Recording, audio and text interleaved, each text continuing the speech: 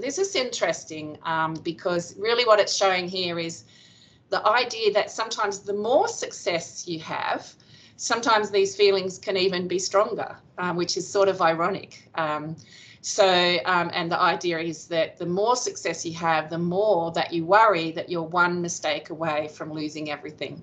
Um, so that's another way of thinking about this concept. So for those who've joined for the first time, what happens is I usually um, share some of the research on this topic, and then we go to our laureates for some, some tips. Um, the history of this um, concept, it comes from these um, um social psychology researchers, uh, Clance and Imes, who carried out a study in 1978 of high achieving women. And what they sort of discovered at that time was that despite the fact that these women were really high achieving, they had these sorts of feelings, like feeling like a fraud, um, being able to unable to internalize success. And what that means is um, when when sometimes when people achieve things, they don't um, recognize that that's actually you know partly down to them and instead they see it as oh it was just luck or it was i was just charming or i don't know the competition wasn't very good but that but this sort of um, not owning the success can be part of this phenomenon. Um, and and related to that, feeling when people praise you or give feedback, feeling like no no no no I don't I'm not worthy of that praise. Um, even though you've been successful in the past and taught great classes or whatever it is, or networked successfully, this sort of part of this phenomenon is still still going into those situations again and feeling that you can't um, replicate that success. Um, part of it is about overestimating the abilities of others um, and, and underestimating actually how much effort they have put in um, to be successful. One of the things, one of the questions that people asked um, is um, how do we differentiate imposter syndrome from genuine limitations in our capabilities. Um, and um, the, I think the way to differentiate this this um, imposter phenomenon is that it, it usually applies to people who are actually very successful, actually, you know, and and are regarded as successful, but nevertheless they still feel um, that they're not quite um, up to scratch. So um, that is part of this um, particular uh, um, phenomenon. So what happens if people experience imposter syndrome? Well, um, obviously, anxiety can be part of the consequences. Self-monitoring, which means you become very focused on, you know, seeing how what it is that you're feeling and um, very conscious of, of your anxiety and so on. Impression management, meaning that you become very focused on trying to look good and manage your impression. Um, and there's nothing necessarily wrong with that, except it, it sort of just all adds to the burden of, of you know, trying to do what you're doing. Um, but perhaps one of the most negative consequences of this um, feeling is um, that it can lead to avoidance. So um, where you you might sort of turn down opportunities. So you might be invited to do a public talk or you might um, get an opportunity to network but you turn it down because you feel like um, you know feel like you're not confident in that situation and you won't be successful. Um, and or another form of that is when you try to you know lower other people's expectations. But these forms of avoidance as i'll talk about a bit later are perhaps um, some of the more damaging consequences of of um, imposter feelings because they really can create a little bit of a um, self-perpetuating cycle where you don't feel confident so you withdraw and you don't do things and then you don't get that opportunity to correct your feelings of confidence and it can become a little bit of a vicious circle. Another consequence though can be pressure.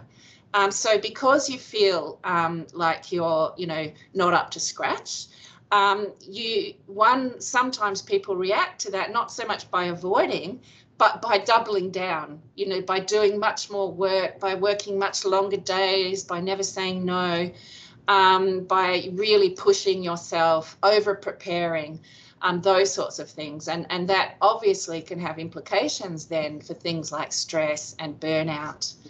Um, and then ultimately, I guess the consequence is um, reduced joy uh, um, um, in your work.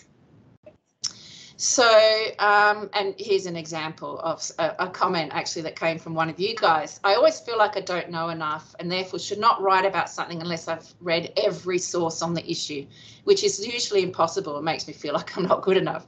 So that's an example of how this um, can, can play out. So um, I just share with you this um, imposter cycle, which I found quite useful.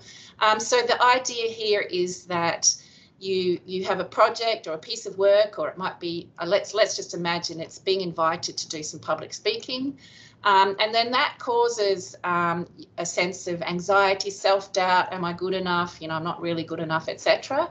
And then, as I mentioned, the consequence could be that either you avoid it, which is the procrastination. So you're just like you're so worried about it, you just don't do it, and you put it off, and so on.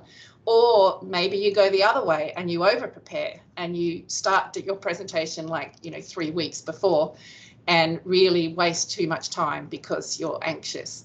Um, then, of course, you do it and you do really well um, um, and you feel relieved and you get positive feedback. But maybe when you get that positive feedback, you focus more on, oh, I was just lucky or I just put in a lot of effort and you don't actually internalize success, that success, which I mentioned before. So you discount or ignore or push away that positive feedback. And then the consequence of that is that again, you feel like, you know, really I just faked it. You know, I wasn't really that uh, you know, capable. Um, I just was lucky. I just faked it, and you, you, discount some of the positive feedback. And then, of course, you get another piece of work, and the cycle begins again. So I think that's um, a helpful um, um thing to think about. And I'll talk a little bit later about how you might intervene in that cycle um, to change um, this, to, to break it, I guess. And that's what we would want to do. When does the imposter feelings when do imposter feelings arise? Well, the first thing is most people feel these feelings at least occasionally. Okay. Um, and you saw some quotes from some very famous people um, realizing that, um, feeling those things. It applies to men and women. The research shows there is some evidence that women are perhaps more likely to feel um, to feel imposter syndrome, but there are certainly circumstances where men feel it as well. Um, it tends to be higher based on the research when you are in new roles and new challenges, makes sense. Actually, some anxiety there is completely normal and natural. Um, people who are the first in the family to, to go on and get educated and do things like that um, often feel the, the weight of that on their shoulders. Um, if you're a female in a very male environment, if you're a male in a very female environment, um, those both would be situations where imposter feelings are more likely. If you're in a really hyper competitive environment, so if you're in a culture that is um, hyper competitive, you're more likely to feel this. And if you are min a, a, minority, um, be that on the basis of gender, we've talked about, but also race or age or um, sexuality or any other um, um, aspect. Um, and two interesting um, an interesting paper there just for anyone um, who, who wants to pursue this a bit further. I just found this paper. It's, it's just a bit more of a, it's called an auto ethnographic account, but it's really quite a personal story of someone um, suffering really from um, this, these sorts of feelings. And, and she talks about um, how that sort of caused her to be you know, excessive in her teaching preparation because she was so feeling so fraudulent about that it is really important to, to note that um, that imposter feelings are much more likely and much greater when there is bias and exclusion in the environment. Um, and, and in fact, um, some scholars um, are critical of this imposter syndrome because they see it as blaming women for what are normal reactions to bias and discrimination. And you can see I've just put the Harvard Business Review article which made this case um, there that you can follow up. Um, so that came out in February this year. And what they really argue is um, that sometimes the notion of imposter syndrome, syndrome is sort of used to um, almost perpetuate bias because it's used to sort of make it seem as though it's um, women's fault um, for having these feelings. So, um, and what my view on that, by the way, is is that it's it's um, it's really helpful to recognise that bias, exclusion, discrimination, harassment, all these um, um, systemic and cultural factors absolutely play a role here. but that doesn't mean that we can't also focus on what we ourselves as individuals do. And just because we focus on what we as individuals do doesn't mean we're blaming the individuals. Um, so I just wanted to share with you actually some research that I did a, a million years ago and this was some research that I did with the, the police um, in the UK. Um, and this was at the time where um, women were uh, very much being um, negatively treated. There was a huge amount of sexual harassment of, of women in the police at that time, and our research was all about that. And one of the things um, that we focused on in our research was um, this idea of overperformance demands and it's actually sort of similar to imposter feelings. And this is this idea, and, and I'm sure some of you recognize this in yourself, but this feeling that you have to sort of overperform. So constantly prove yourself and never say no and do twice as well as your colleagues and so on in order to get recognition and acceptance at work. So that's what we measured. And what we found was that, um, unsurprisingly, for female police officers, this feeling of overperformance demands was much higher. And interestingly, as um, female police officers went up the rank, so they became sergeant or superintendent, or actually the feeling of pressure over performance demand got even higher. But interestingly, for male police officers, these feelings were lower in the first place, and the higher they went in the rank, the lower their level of um, over performance demand. So almost like they felt like they were doing, they were succeeding, and so the, the pressure was off a little bit. Whereas for women uh, in the police in those days, the more that you went up in rank, the more visible you were, the more that you were managing men who perhaps didn't want you there, um, and the more that you felt this pressure to be like superwoman. Um, and but the interesting thing, and the reason I'm sharing this little piece of research with you, is that what we found is that, well, first of all, you can see from this model here that if you experience this sense of overperformance demand, you do tend to experience more distress. Um, and, you know, that's related to burnout and all those sorts of things. Um, but what's interesting here, and these figures that I've put in a circle, these are the these are the beta weights from the model um, of women and the weights underneath it are for men. And what you can see is that for women, if you experience gender harassment, and gender harassment is sort of what they call low level harassment. Uh, so it's not um, overt sexual harassment, but it's much more just like well, the, the, the example I keep thinking of in the police was, you know, um, put the kettle on. You know, people, the women would be told to, you know, make the tea and stuff.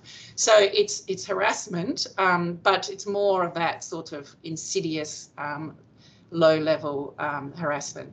What you can see is that the women who experienced that were much more likely to feel this sense of I've got to overperform, and it makes complete sense, right? Because if you're being undermined in the workplace through gender harassment, then you're much more likely to feel this sort of sense that I've got to prove myself and I've got to be super good at my job and so on. Um, and you can also see that if people felt that women were not accepted in the police, much stronger in, um, impact on overperformance demand. And also if you were someone who was struggling to, to juggle family and work, also feeling more of this overperformance demand. And what's interesting is that those we examine those same, same relationships for men, but for men, first of all, they don't experience much gender harassment in the police, um, but some did. Um, and but they didn't really have any impact. Um, you can see the beta weight there is non-significant on it didn't have much impact on on them. Um, and and same for the the other factors. So I just share that research with you to be clear that um, absolutely the situation that you're in can shape these sorts of feelings um, that can make you feel more like an imposter. So what do we do about it? And I just uh, will um, cover that fairly um, briefly. And I quite like this little cartoon here. This is Dr. Adams. She's a social psychologist and the world's top expert on imposter syndrome. Haha, don't be silly. There are lots of scholars who've made more significant. And then she realizes, oh my God, what is she doing? so how do we address um, imposter feelings? Well, obviously, given what I've just said about the role of workplaces in um, in fostering these feelings or creating a culture where these feelings are more likely. Um, you know, we need to be looking at reducing bias, discrimination, harassment, and exclusion, and building more diversity. We also need to have those fair systems for performance assessment and promotion. And in the past, in these sessions, I've talked about how women's performance, the exact same performance, can actually sometimes be rated more negatively than men's performance. And actually, there's some research that just came out, and you might have heard about it. Um, actually, there's been research on this for years, but some recent research came out showing that women's um, women, female teachers teaching academics, um, their performance is um, rated lower than male um, academics. And there have been some very cool experiments that show that uh, very compellingly. So you teach an online class where the material is all mapped out and all you do is you change whether it's a male or a female teaching it, um, literally just the name because it's all online and you see lower performance ratings for women. So some fairly strong evidence that women's performance is often judged differently. And we've talked about that in other sessions. So of course, if we um, have those unfair assessments or um, different standards being applied for women, that's going to make them more anxious about their performance and, and experience this imposter syndrome. But what can you as an individual do? Well, obviously you can help build these diverse, unbiased workplaces. Um, but more personally, I think one thing is just recognizing that these feelings um, are a, a quite normal response um, they're a normal response um, to being in a challenging situation, but they're also particularly um, strong, as I've mentioned, when you're in a culture where, you know, there have been stereotypes about women's performance or bias and so on. I think probably the most important thing is to really think about how you respond and increase your self-awareness. Um, and if you do that, then you can start to develop new ways of talking to yourself or new scripts um, so, and and and the the final one there is um, about seeking out mentoring, support, and connection. That's part of what this series is about. Um, but if if we look at this idea of new scripts and just go back to the cycle that I mentioned, what I'm suggesting almost is you try to break the cycle, and there's multiple points that you could try to break the cycle. So one could be, for example, if you're having these feelings, you know, you might um, be able to change the way you think about things um, through um, either mindfulness sorts of techniques or through more trying to reframe um, things. You might even just accept those feelings. Actually, is is also um, is also a strategy. The issue is perhaps not the feelings. The issue is what do you do, and if if the feelings are causing you to spend three weeks preparing one lecture, which is just going to kill you because we all have too much to do you know, then you might have to do some tricky little things to yourself, like say, okay, I'm not actually going to start preparing until the day before. So at most, you can only prepare for a day or whatever. You might have different strategy, but you could break the cycle there. If you're someone who avoids and procrastinates or puts off or turns opportunities down because of imposter syndrome, then be aware of that and um, and um, consciously try to make some different decisions. Actually, the research shows that that is the one that will hurt you most in the long run if you become avoidant, um, because in fact, um, it's jumping in and getting doing things, as you've heard many times from women laureates, um, that that ultimately tends to lead to success. Um, another point of intervention, of course, if you do it and you do well and you get that good feedback, try to own that good feedback and be aware that you're pushing it away or you're discounting it or you're saying, oh, I was just lucky. So be self-conscious and, and try to accept and own your success. And then finally recognizing um, next time you're about to do another piece of work that's similar, you know, recognizing this cycle and seeing if you can you can break the cycle there. So that is some um, a little bit of the research evidence, a little bit of the thinking, and some of my um, suggestions. Um, and um, I mean, I guess I guess really what I'm saying here is, you know, understanding that the environment that you're in, the supervisor you've got, the manager you've got, the colleagues you've got, uh, the pressure that we have as academics, all these things are perfect fuel for fostering um, these feelings. Um, and you know let's work on changing those systems and cultures and unrealistic performance expectations but also let's work on how we ourselves respond to that and look at how we might break that cycle so um, guys i'm now very very excited to introduce our two ARC um, laureate fellows um, that are going to share with you some of their tips um, on this topic. So first you'll hear from uh, Professor Kaarin Anstey, who is one of Australia's top dementia scientists.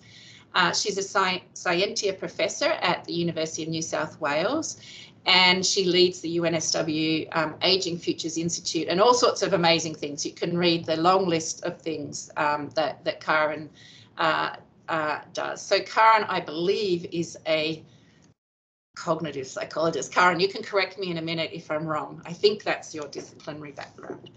Um, and then we will hear from uh, Professor uh, Naomi McClure Griffiths, who is an ARC Laureate Fellow, and she is an astronomist or astrophysicist um, and uh, from the Australian National University and works on these amazing topics like the evolution of the Milky Way. Um, so what's great about our two laureates today is we have quite different disciplinary perspectives. Um, and um, so without further ado, I'm going to hand you over to, I'm going to stop sharing and we are going to now um, hear from Kaarin. So welcome, Kaarin, and uh, thank you very much. You will have to unmute yourself, of course. Thank you, Sharon, and um, hello, everybody. Thank you for coming to this session today.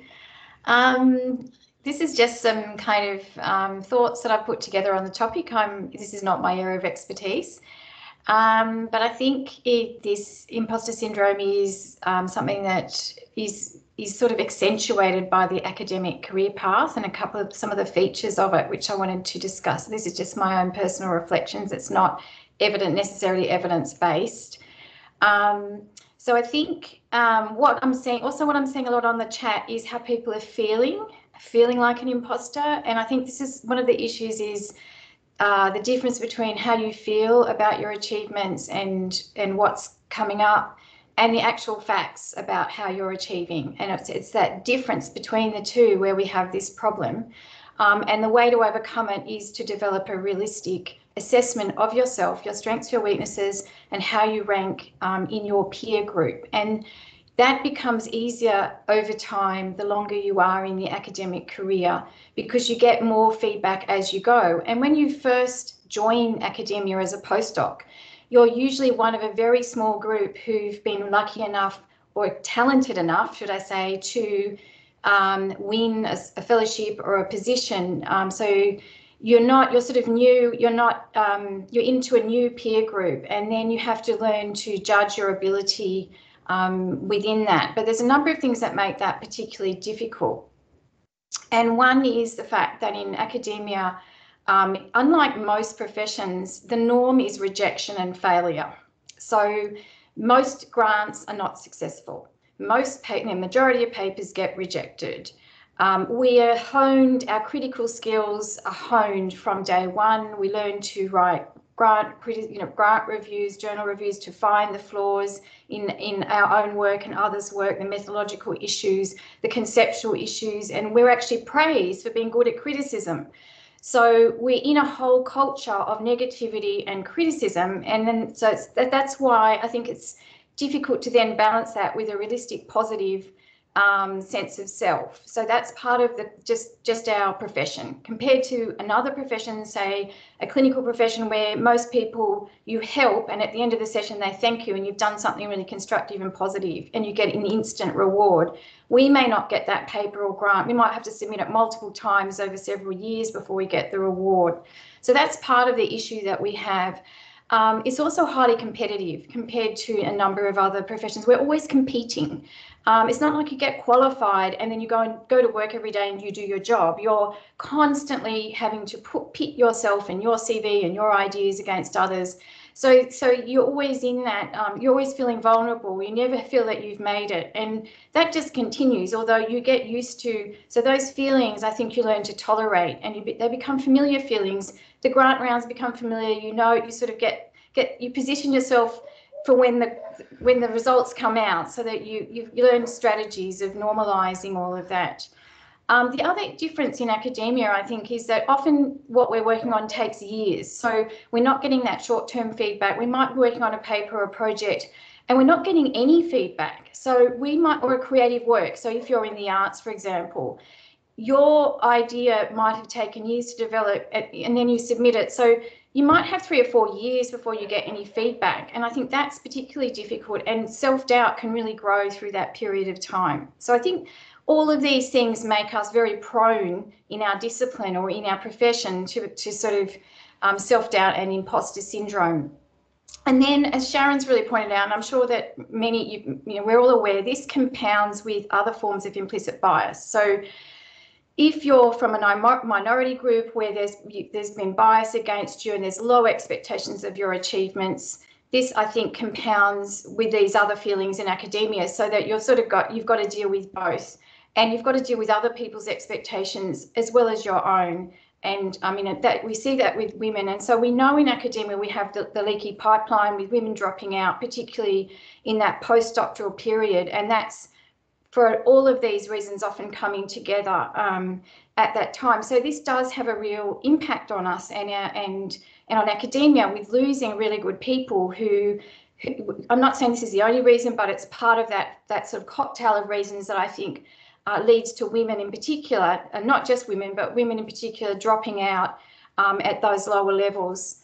Um, I just I had some other points on my notes. So I think um, some there are some vulnerable points that I've noticed, and one is particularly when and having children that transition around trying to manage an academic career and children at the same time. Um, it's it's easier to to um, I think not be taken as seriously and not take it and your your loyalties are divided, your concentrations are divided. I think that's a very vulnerable time for things like imposter syndrome, people losing their self-confidence. So I think again, mentoring and, and women supporting each other through that period is extremely important. Um, and the other thing I'd just like to end on is a, is a bit of an anecdote of mine. Um, I was um, asked to be a mentor at an international conference for early career. The session was called Lunch with the Stars. So we went and, and you know, I was one of the stars, as were a number of people, and we were meant to have lunch with this cohort of, of up and coming uh, gerontologists. And we had a speaker, and the whole session was about how to develop your pitch for networking. And then we were meant to pair up with an early career researcher, and they were meant to practice their pitch with us, and we would give them feedback. And it was all about um, you know, how to do this. And, and so they went through all of the different skills and strategies. It was really, really informative. And then, then you got paired up after lunch and you went off. And what I realized was that I'd actually done none of the things that you were supposed to do. I'd, I'd done none of the networking properly. I was really nervous. Um, I'd never, I just, I'd never done a pitch properly. Um, and yet, so I sat down I thought about it. I thought, well, actually, you know, I've ended up with some fantastic colleagues from my networking that are absolutely that are brilliant, great collaborators. I've I've had postdocs approach me, and I've got and it still worked because I've really got on my genuine, you know, I fumbled my way through. I wasn't a great I've never been good at putting myself out there because I've always suffered from social anxiety and I'm not the, the most brilliant networker and etc. etc. etc. But I'd still manage. So I think that was the other thing that sometimes you can hear these talks and you think, oh, I've got to do all this and I'm I'll never be able to do it. And actually, it, it doesn't matter because one way or another, if you're good at what you do and you have a lot of passion and you do you do um, continue along, you can get there multiple ways. Some people get there through being uh, brilliant at networking or whatever, but it, it's not all like that. Some people are really introverted. Some people are there's, there's huge diversity in personality and in personal style, as well as in you know, ethnicity and gender diversity and um, all of the other forms of diversity. So I think that's the other thing is is being um, there isn't like a secret recipe about all of this, and I think it is about in the end self knowledge and being realistic about who you are and having a good uh, calm assessment of that. So that's all.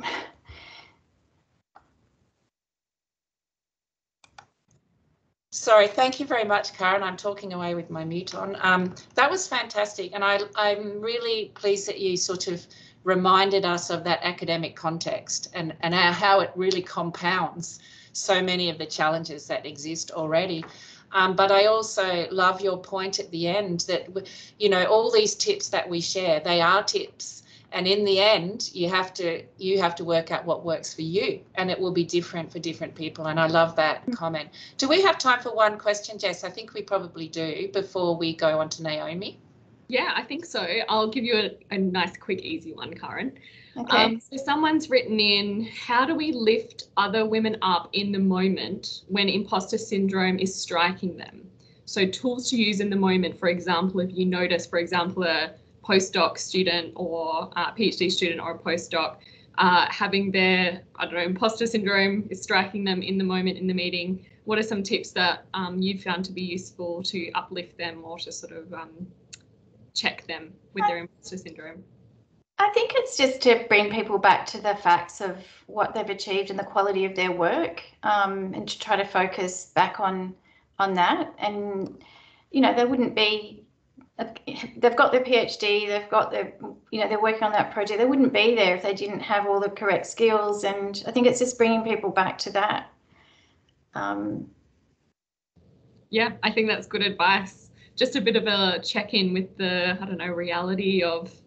Yeah, I mean, it depends obviously on the on the context and the situation, but and reminding people of their strengths, like pointing out their strengths to them, reminding them of you you know them better you know you have to be someone and you have to know what their strengths are but clearly you can point list them out verbally to the person mm-hmm. um, and i think that can be very affirming and that the difference between the the feelings that you can that mindfulness concept of just watching those feelings drift down the stream those feelings of anxiety and, and inadequacy just look at those feelings separate and let them drift away and then focus on the facts in front of you about what you have achieved uh, what you are working on and the quality of your work. Thanks, Kaarin.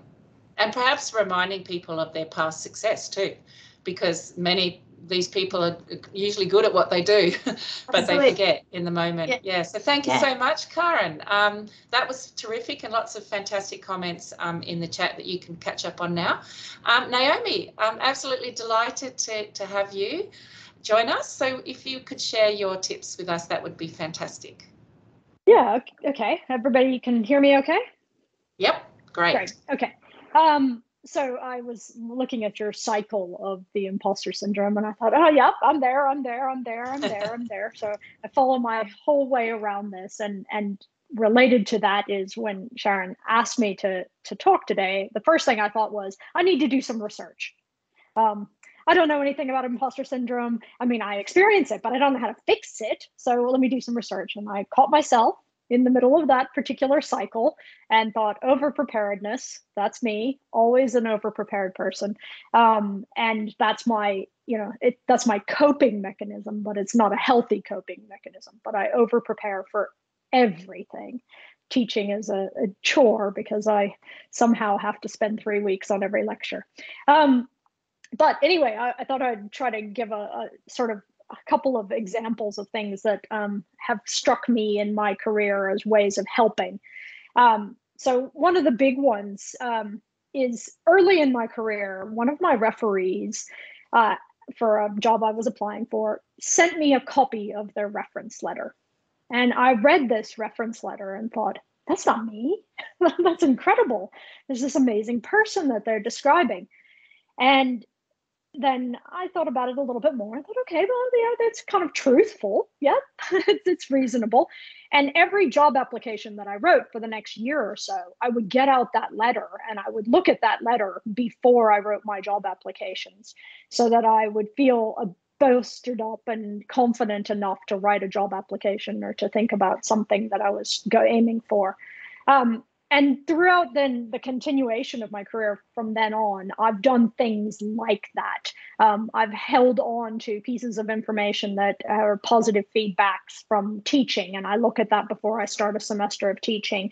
Um, i go back and read read the referee's report of a positive grant application before i write into another one. Um, but something that gives me some external uh, feedback that I can then try to internalize for a period of time to get through the thing that I need to get through. Um, and then you may or may not be successful in it, but then at that point, you've got another marker to put up there. So that idea of sort of tracking success um, has been very useful for me.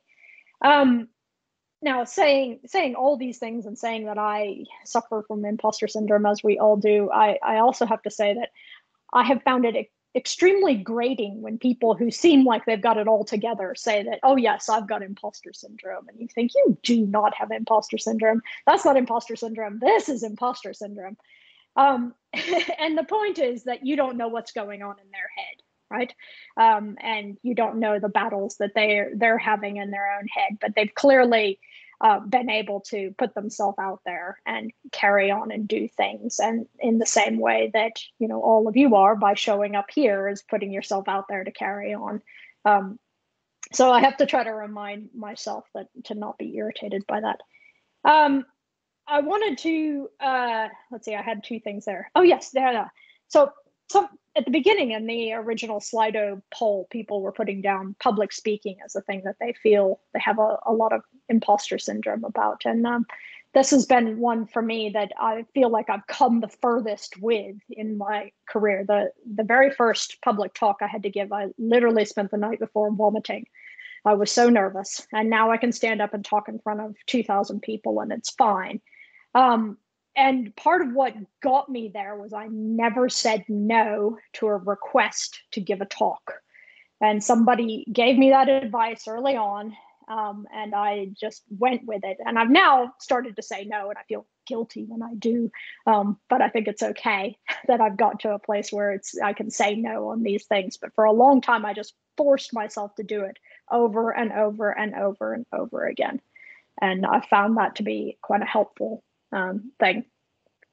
Um, and uh, it's also useful for me to recognize that I have imposter syndrome and things that are not related to my academic career, um, because somehow it's it's slightly less jolting to um, conquer it in those other areas than it is to try to conquer it in my academic career, where I've placed so much of myself around. So, for example, um, I realized this uh, a little while ago that I never like to call myself a runner, in spite of the fact that I run four to five days a week. I've run two marathons, I've run, you know, countless half marathons, but I'm not a runner because I'm slow and I'm flawed, and I can't I can't label myself with that. So when I realized that I was doing that, I could take that as a little area I could study, look at how I dealt with it, what techniques I used to to sort of accept myself. And it's easier to bring that into my academic career later on by taking something smaller there. Um, and then, then finally, I thought I'd say, um, and not only do I feel like an imposter, but I, you know, I, I literally am all the time an imposter um, because I am a woman in physics and astrophysics, and there are virtually none of us. And I was the only woman in my um, undergraduate degree doing physics. And so I, I really, really was an imposter. Um, and I sought out the people who made me feel comfortable occasionally. And so to just so that I could back away from that confronting experience. And so I spent a lot of time talking to the administrative assistants um, in the building because there was a place that I could go to that was a, a safe space um, and I did I felt like I could be me and I didn't have to worry in that place and that allowed me to get through the other parts of the day where I was feeling so out of place um, and so awkward. So those are just some of my um, little things. I, I don't think anybody's got the right answer to how to get around this, um, but coming to recognize what you've got and not letting it stop you seems to be an important part of it. Thank you so much, um, Naomi. I there were many things. I mean, that was a beautiful demonstration, actually, of the imposter cycle there, because you talked about, on the one hand, for some things over preparing, but you also talked about how the temptation to be avoidant. Um, you know, so the temptation to say no to public speaking because that's where you feel, you know, at risk but in fact the, the the the fact that you had a strategy for not letting yourself avoid and I think that's what is very, very important here. Um, you'll say you said that you say no now for talks, but you're doing it for a different reason, right? You're not doing it because you're worried about, you know, how you'll be perceived and all those things. You're doing it because you're overloaded, and I'm sure you get asked to do far too many. So thank you for coming today on that basis. But um, and that's and that's fine but it's when you it's when your imposter feelings lead you to withdraw that it's probably most damaging for uh, careers. And that's what research would suggest, I think, as well as our own experiences. So thank you so much for sharing. And Jess, do you have a nice, easy question for Naomi? yes. or a hard one, or a hard question. well, I've saved the more like practical ones when we go to everyone as a group, but I thought um, this one might be good for you, Naomi, considering um, your experience being a woman in physics uh, and in academia. So uh, someone's written in, women feel imposter syndrome in many settings, but is there something particularly about the academic setting in which women encounter it more acutely? If so, why do you think that is? Hmm. Well, um, that's a very good question. That's not an easy question. um, the thought-provoking question. Yeah. So I I do think that we've hit a, a, number of different places. One is being, you know, being the unusual person out. Another one is that um, our the nature of the academic setting is a very um, it's an argumentative um, setting, right? You, you're you're constantly uh, critiquing ideas and in having to defend them as as Kaarin talked about very nicely there. Um, and that's the whole way is that you you put forward something, you shoot it down, you put it down, up, shoot it down. Um, and that is for a lot of women, that confrontational aspect is not comfortable anyway. That's that's already a problematic situation to be in. Um, and then trying to pick that up and, and work with it can make it even more difficult. But I don't know that I've got a good answer, really.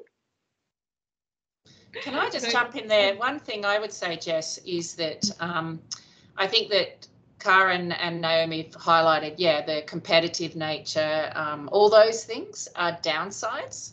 But there is a positive to the academic world, and that is that um, research performance can be quite objectively um, quantified because you you could, could, because you can look at papers that people have published now, that's not to say there's not bias going into getting those papers, right? Being invited to be part of work and so on. But if you can actually deliver good quality work, and this goes back to Kaarin's point, it's objectively there. It's it's a it's so that that I've personally found good in my career because whereas it could be easily you know like oh you know you you could be easily dismissed and and so on but people can't ignore the objective evidence in front of them that you've published X number of top tier papers or whatever.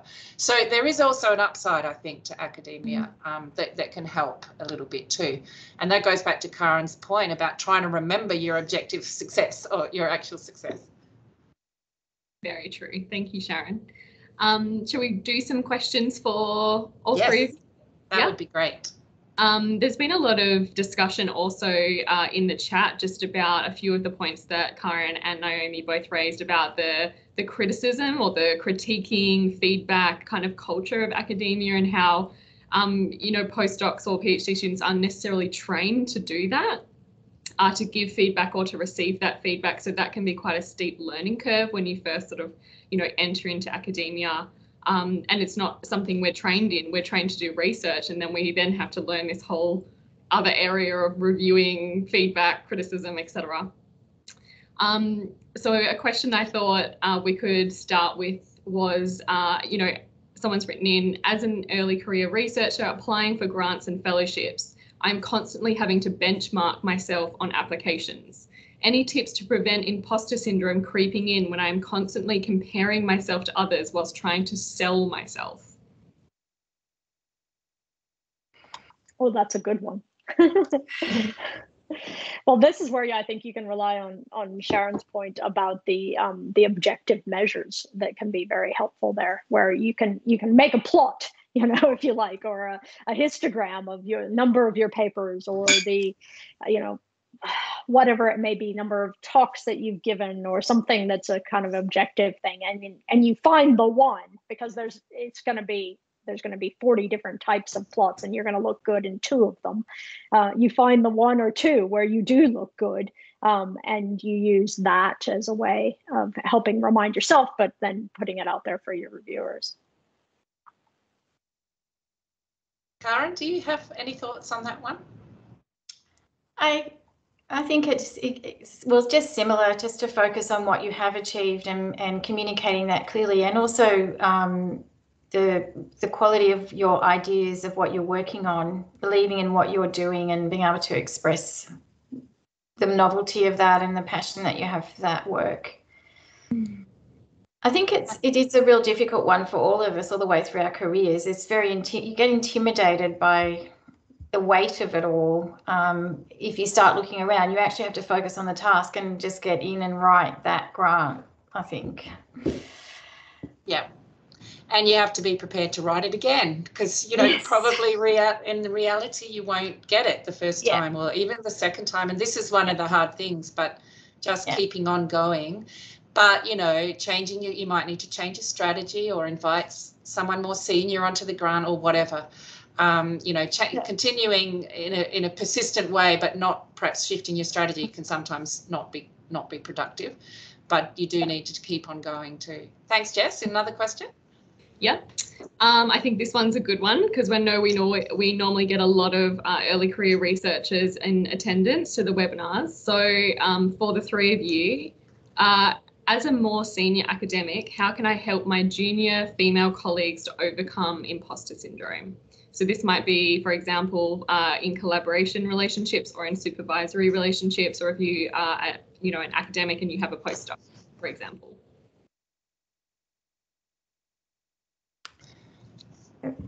You go, Kaarin. Yeah, I mean, this this is this is quite a long one. It take this whole session. We could have a whole session on this for mentors in, in a way. But I think um, promoting your your postdocs, so giving them opportunities, setting up networks for them, nominating them for awards, including them on your grants, giving them genuine opportunities to collaborate on on papers and projects, linking them, helping um, facilitating them in, to get um, opportunities to supervise students. So I think there is an active role in in um, enhance you know enhancing the careers of the people that you mentor. I think those those those are sort of some of the just things that come to mind initially. Thanks, Kaarin. And I was probably going to say something similar. In some senses, it's about trying to help them be successful, right? Yeah. because yeah. Um, because in a sense, it's that objective success that we're saying, you know, you can then use to calibrate against these yeah. feelings. Yeah. Um, and we did do a webinar on um, mentoring and sponsorship. And in a sense, some of those things you talked about, Kaarin, there are sort of forms of sponsorship. So not just yeah. guiding and helping people, but you know, putting people's names forward or recommending them for prizes or whatever. Um, yeah. bit more active types of support. Um, so that's a great comment. Naomi, do you have any thoughts on that one? Yeah, I, I fully agree with you know the the various forms of mentoring, and particularly the one where you um, you put somebody forward for something that's a stretch for them. Um, so you know, you would be really good to lead this project, even though they almost certainly wouldn't have thought of it because it's quite a big jump, but you can see that they could make that jump. That belief, so having somebody else's belief and you can really make a big um, difference.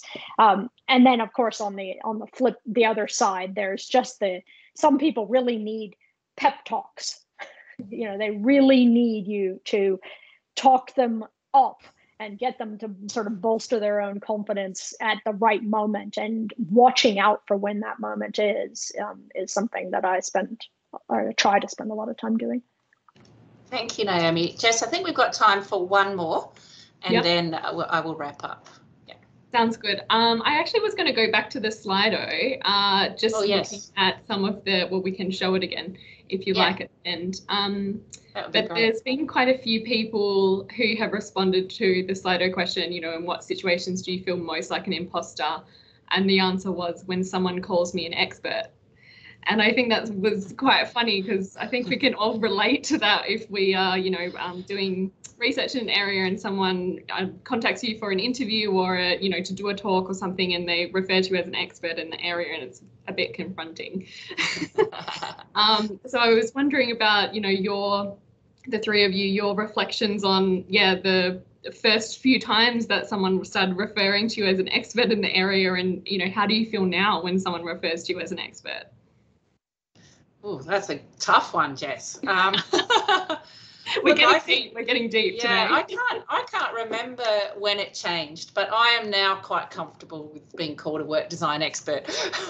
but honestly, it, it, I've been doing it for 30 years, so one would hope I feel comfortable.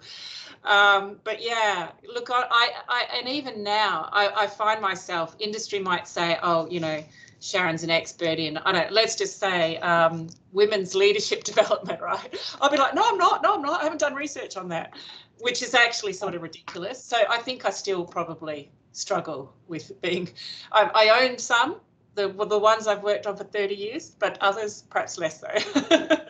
but what, do? what about you, Naomi and Kaarin?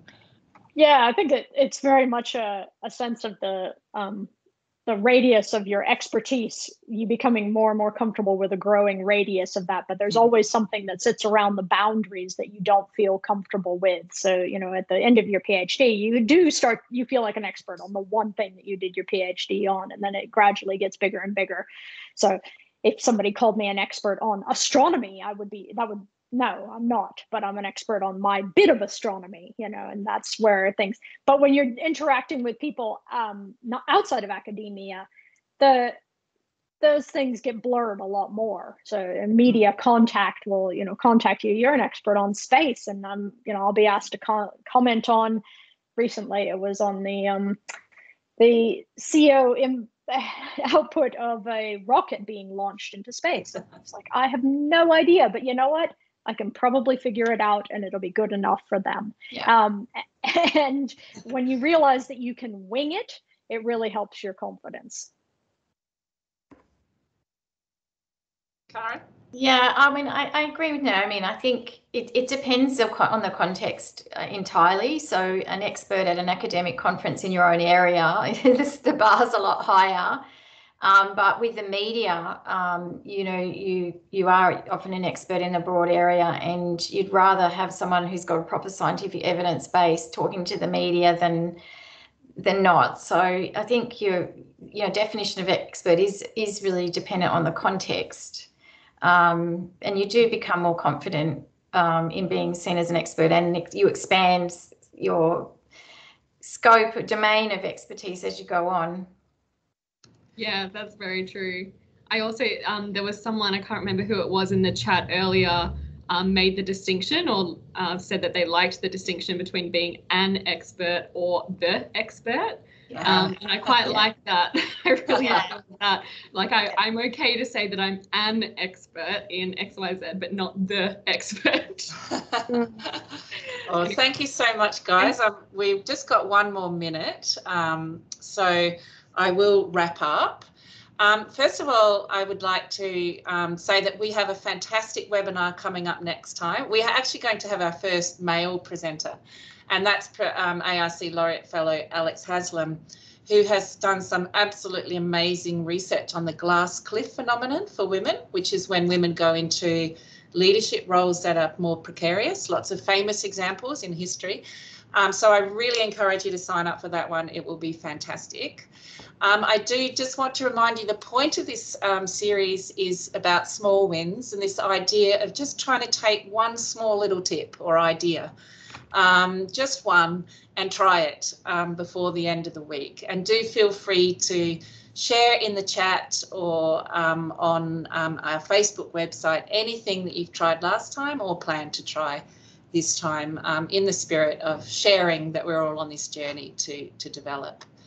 And last but absolutely not least, I would like to thank um, the Australian Research Council and Curtin University for supporting this project. Most importantly, to Kaarin and Naomi for their fantastic insights. I think um, there've been such positive feedback coming through on the chat.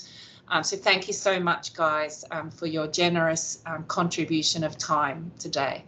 Um, and thank you to all the people who've been involved in this series behind the scenes, um, and, and Carol and Sana, uh, Isabel, and of course, Jess, for your wonderful question asking. So um, that's pretty much it from us. Maybe Jess, you could flick up that Slido um, uh, screen. I will. I will stop. I don't think I need to stop sharing, and people can see that. But thank you all so much, and I hope you have a wonderful rest of day. And thank you for joining us. We couldn't do it without you, and uh, really appreciate your engagement um, and energy and interest. Thank you. Thank you. And there you can see the Slido. Uh, so networking, public speaking are the number one areas. Uh, so that's great. Thank you all. Thank you. Bye.